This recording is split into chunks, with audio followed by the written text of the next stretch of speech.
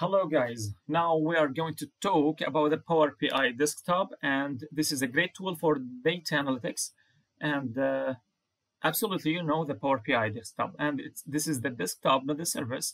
It means that this is a free tool and also you can sign up by your uh, company email or your school email.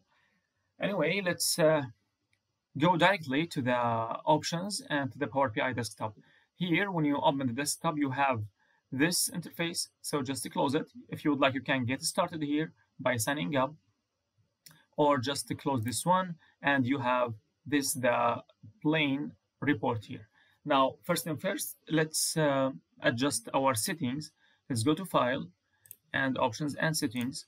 Options. This uh, adjustment for the settings is necessary uh, because let's let's see when you open this one, we have a lot of options. Now we care about the preview features and make sure that all these are unchecked. This is this means that Power BI will not detect any relationships between the tables because sometimes if we make any of this are checked, uh, the Power BI maybe will be um, connect a table to another one in wrong way. So I need to build the connections and the bonds by myself. So make sure this all are unchecked. Again, let's go to regional settings and here make sure it's not uh, English United Arab Emirates or another where it may it, it will be English United States. That means for the date and for the numbers it will be uh, in correct way. And also yes we have all the all these. It's okay and that's it. Now we are ready to connect our data. We have the visualization tools here on the right side. We have the filter. We have the fields. Here, all the connecting tables, it will be listed here. Let's take an example. For example, uh, the Power BI, you can, to the Power BI, you can import any source of data. For example, if you go to get data here, uh, you can choose the Excel, Power BI database, SQL Server, text, web, and all these things. Now here, let's connect our data. As you see here, before we connect the data, let's explain some features for the Power BI. Here we have pages, just like Excel's. You can add an, a page, you can delete it. And here we have the options here. Insert for images, shapes, text and for modeling also this is just for DAX or query and view. We'll come to this later. And we are here in the home tab. Let's get the data. And mm, let's choose this one text CSV file. It means that I will import um, an Excel file. So let's choose this one. Uh, I don't know where is it. Maybe here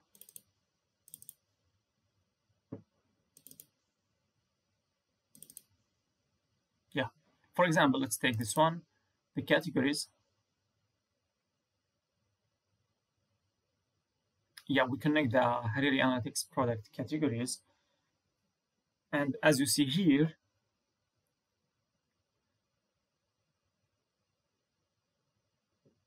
we have this one, we have the file origin.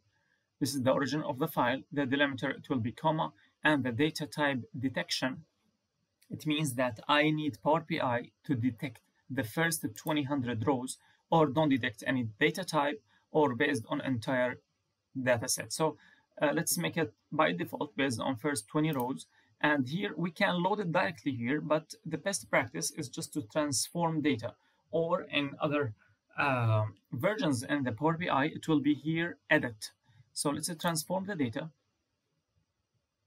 just to shape it, clean it, and so on. So we have a Power Query editor here, and we have the data set that we just imported. As you see here, it it's listed here, the bikes, components, clothing, and accessories. It's listing here. Actually, anything I do, it will be, this is like a log in applied steps. So for example, let's um, add a new one, right click, and make a duplicate column as you see it's here and you can just uh, delete it and it will be back here you are uploading the data, uh, cleaning the data, shaping the data, all the things you need to do in this page or in this preview. And after you finish cleaning the data, you just close and apply. That's it.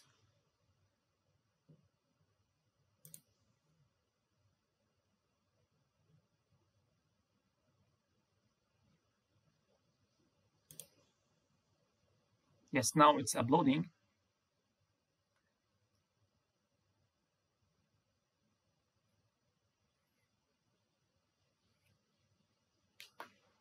It took time. It takes time.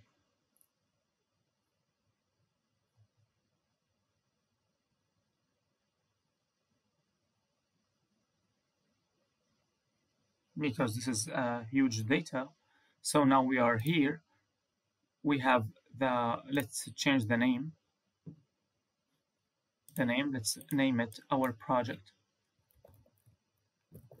Don't worry about that, we'll see it in the next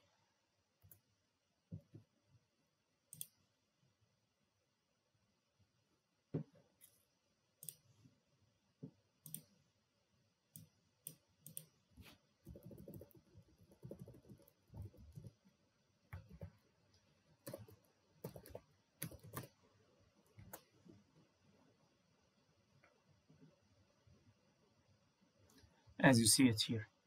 Now, this is the report uh, panel. Let's go to the field. And as you see, this is all the table here. Let's go, for example, the category name. You see at the table here. And here we have the model, the connection. This is the table. And later on, we'll add another table and make a connection between them. That's it. Uh, an easy way to connect a data, an Excel file to Power BI, shape it, clean it. Uh, maybe the data will be shaped and cleaned, and you just import it. Uh, you shaped and cleaned in the Excel, and you just import it. Uh, that's it, an easy way to import uh, data to Power BI.